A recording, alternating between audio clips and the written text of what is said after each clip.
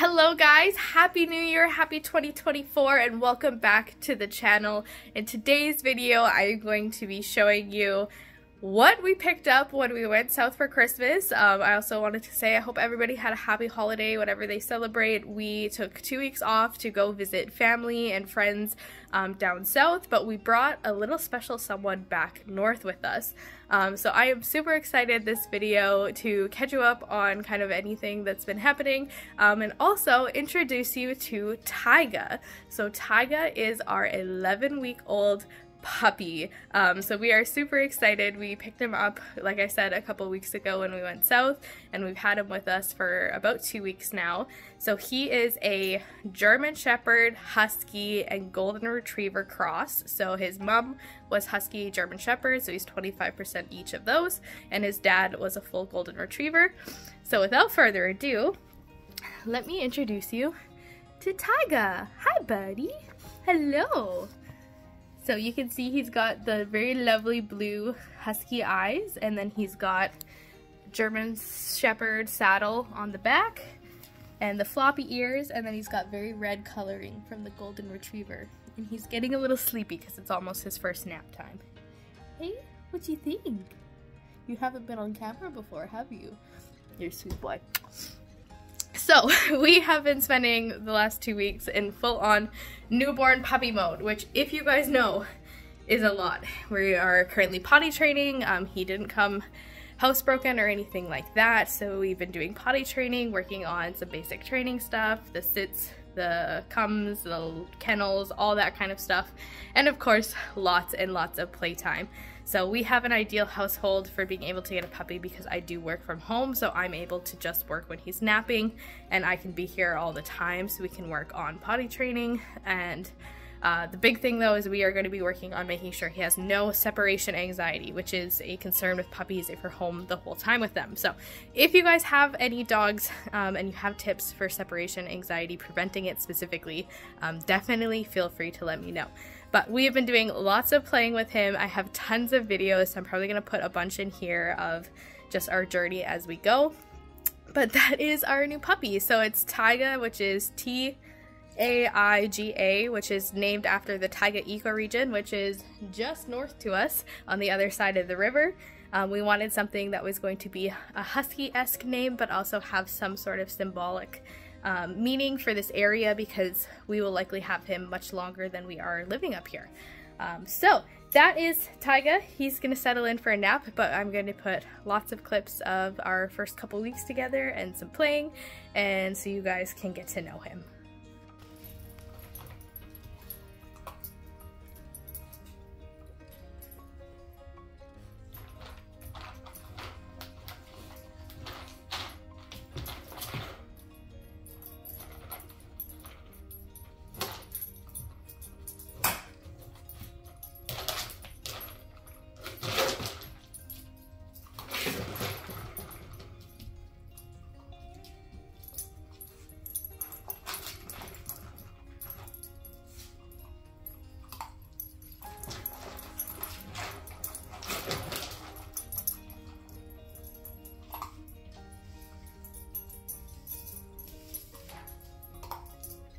This is one of Taiga's favorite places to sleep because there is an air vent underneath that mat that blows warm air.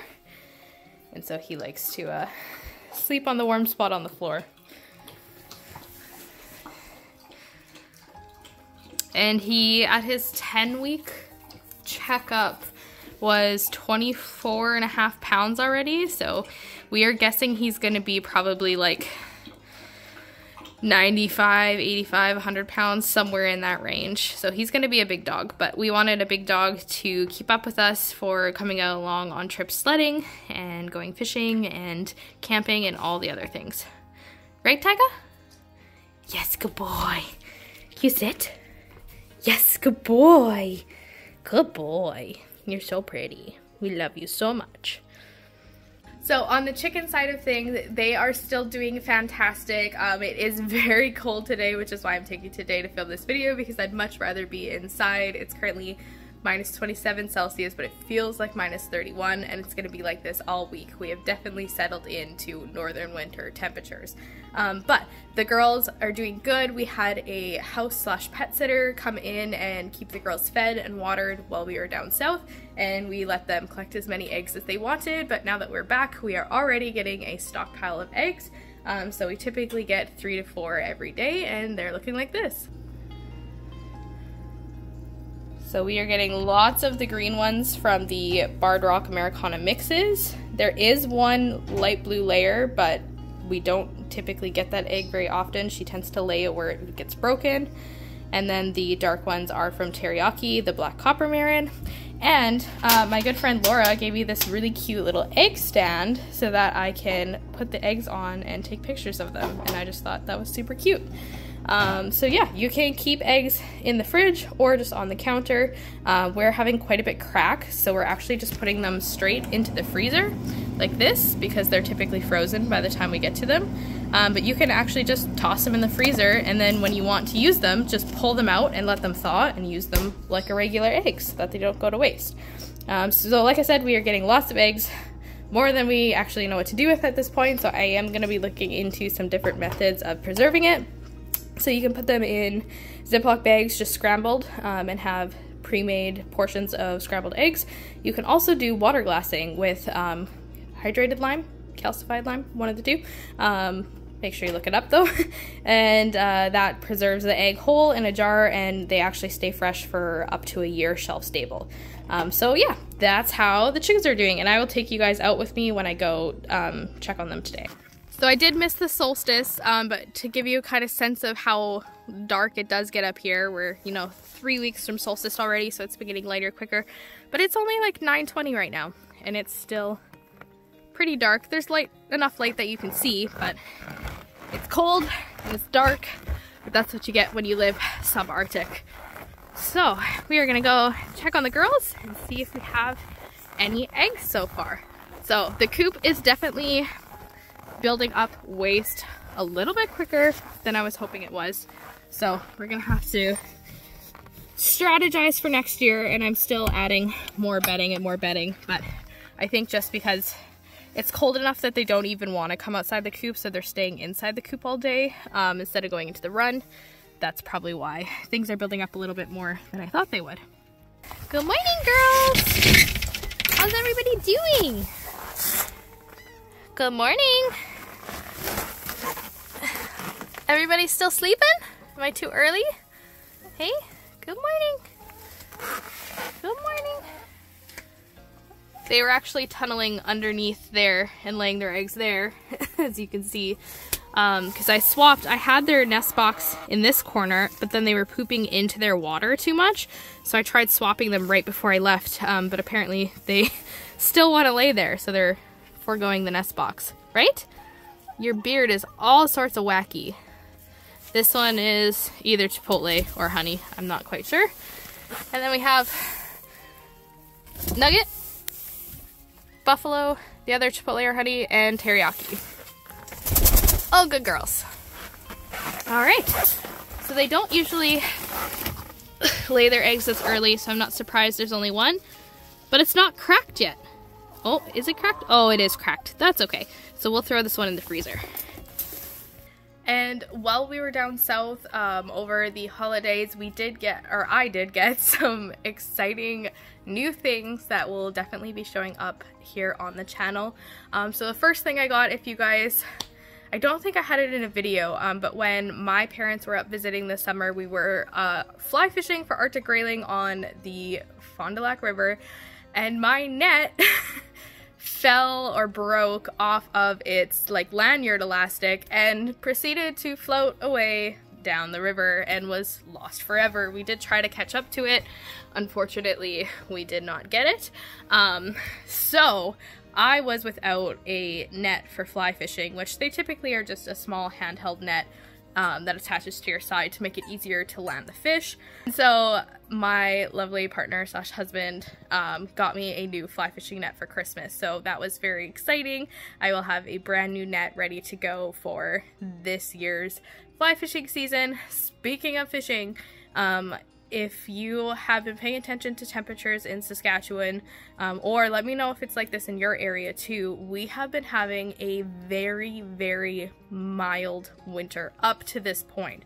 Um, so we had multiple days in December which were single digit positives, like plus one, plus two, where snow was melting, um, which is very, very un or abnormal or not normal for this area especially. We're usually in the mid 20s minus 20s to mid minus 30s the whole month of december.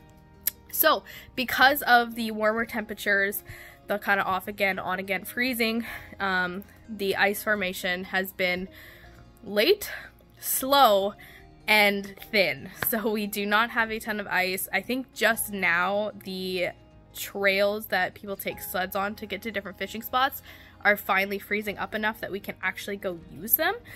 Also, if you didn't see my last video before the holidays, we bought a sled, so make sure you go and check it out. I will link it in the card up here.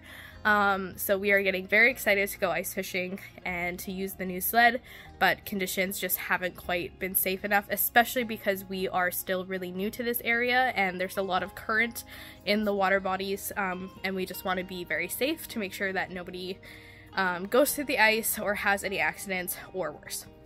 So for fishing so far, that's still been put on hold, but we should be able to start going out basically any time now. So we will hopefully find a spot that has some fish. And you guys will have to excuse my voice. I am getting over a cold that I picked up while we were down south, and I'm right on the tail end of it, but my nose still gets a little stuffy. Um, so that was one thing we got. We got some new fishing stuff, um, so very excited for that for summer. The other thing that I got, which I am super excited for, this actually wasn't a Christmas gift. This was something that I ordered during a Black Friday sale, but had it shipped to my parents' house because it didn't make it up here, is da da da an all-American pressure canner. All of my kitchen people, my gardening people, the pressure canner is super, super exciting because this will allow me to preserve all kinds of foods for up here in the winter and just kind of in general to have um, because the pressure canner means that you don't have to acidify whatever it is you're canning. Um, so that means I will be able to can fish and meats, which I have not been able to do previously. I will be able to prefer preserve um, things like vegetables and broths um, without adding vinegar and making them a pickle. Um, and then basically it just opens up so much more opportunities um, for canning all sorts of produce. So even when we go south for our grocery trips, um, you know, buying some extra and putting them up in the pressure canner um, in different recipes can just make it really, really, really easy. Um, so I was definitely a little bit nervous, I'm not gonna lie. Um, I found this pressure canner because the All American brand is actually very hard to get in Canada. Um, you can look around for them. A lot of places are out of stock or just like are simply don't carry it. So I found this pressure canner on goodtogoco.ca. I believe that's the company or Good to Go Co is the company. Um, and so they had it on Black Friday sale and I ordered it, got it shipped to my parents' house um, because they wouldn't accept the address up here, probably because it would have to go by mail and they likely just don't ship by mail. Um, however, immediately after I ordered it, I started looking at some of the reviews for this website slash company, and there were a lot of horrible reviews about people spending thousands of dollars on freeze dryers and not getting their products six to eight months later and potentially like is it a scam? Do they just not have good customer service? And so i got very nervous that i had ordered this expensive pressure canner. Like even though it was on sale it was still very expensive um, and that i was potentially not going to get it. However, I will say my experience was not at all like the reviews. So I don't know if it's because they had it in stock um, or if it, because it was a pressure canner and not some of the other items that people were having issues getting shipped to them. Um, so buyer beware, use at your own risk. Um, I will tell you where I got it from, but just you know keep that in mind if you plan to order from them. Is that there have been issues in the past. Um, so I ordered it. It got processed four days later um, I think, which is a little slow, but it was over a weekend. So, and then it did ship out within a few days, and I did receive it after about a week and a half shipping from BC. Um, so I had no issues. Um, so for the canner specifically, um, if you're looking for a new pressure canner and you're having trouble finding one in Canada, goodtogoco.com is the company that I purchased from, but just very, very heavy beware because I know there are lots of people who have trouble with it, and I just I'm really hesitant to even recommend um, them just because of that. I don't want you guys to, you know, follow up on something that I recommend and have a really awful experience or potentially lose out on money. Um, that's just not something I want to do. So I'm gonna let you know where I got it because lots of people will probably ask. Um, however, just cautionary, use at your own risk type type situation. And the last thing that I got is a whole bunch more yarn. Um, so this is um, for a couple different things. I have a couple headbands that I'm currently working on. Um, and I did make a separate Instagram account for my knitting stuff. So if you guys are more of a knitter, you can follow that there. You can see some of my tests on the board behind me. Um, these colors here, I got to make a sweater design. So the four colors there are going to be like the design and then the body of the sweater is going to be that charcoal gray. So I picked up all the yarn for that. And I also got some yarn in some greens and blues here and this green as well because I want to try to make a headband or a cowl um, or like neck warmer. I'm not sure which one specifically.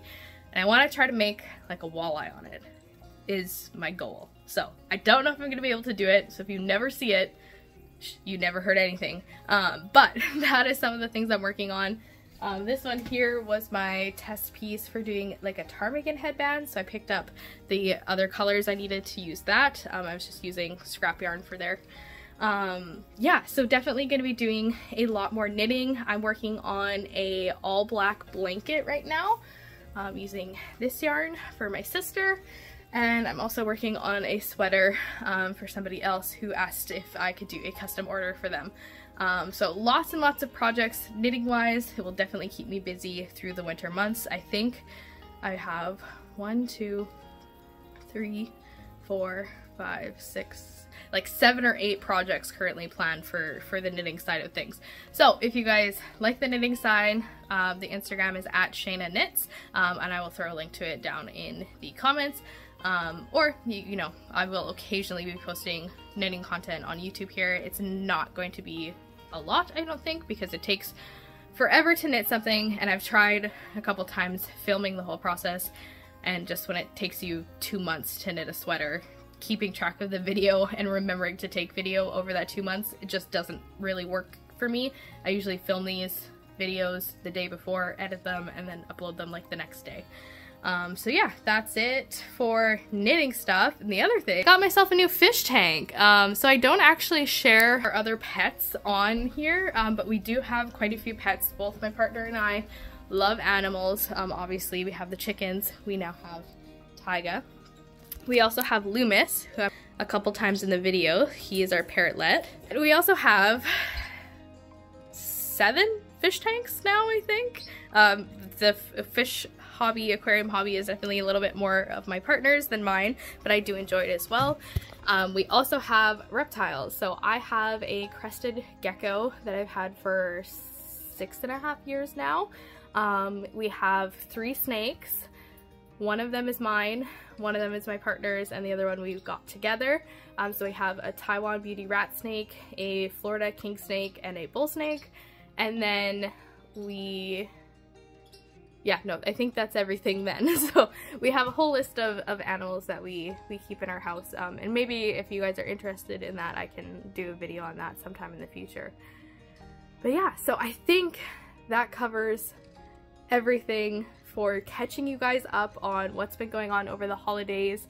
Um, we didn't see much for wildlife. We were fairly busy with the puppy, so I didn't I did take my camera south with me but we didn't see a whole ton of stuff. However, when we were driving back north, I did get to see two adult lynx and I actually got a really amazing photo of one of them.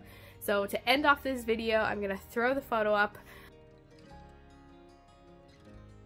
um, so you guys can see it. It'll probably also be in the thumbnail, so if you caught that, then you will have seen it as well.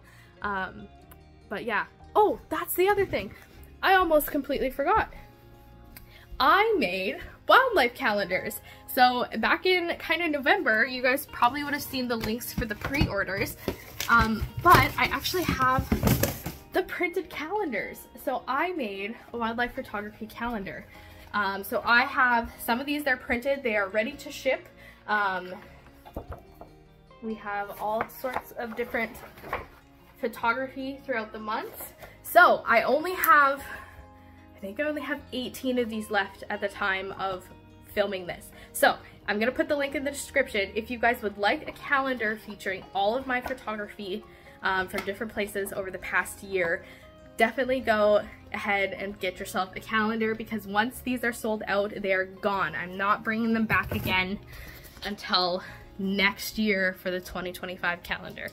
So super excited to show you that. Um, all of the photos for it have been on my Instagram and also on my website. If you go into the actual um, like item to purchase it and if you scroll over in the photos I have like a fake back with like all the pictures on it that I've made so you can see everything that's in the calendar if you want to look ahead it does have caribou in it it has ptarmigan in it it has fish birds animals uh, foxes um, and even some sea lions from when we did our BC trip last March um, so with that, that is everything for today's video. Thank you guys so much for watching if you watched all the way to the end. And if you haven't already, be sure to subscribe. Um, and yeah, let me know how your winter's going, how your holidays were. Throw it in the comments. I'd love to hear from you guys. And we will see you in the next video.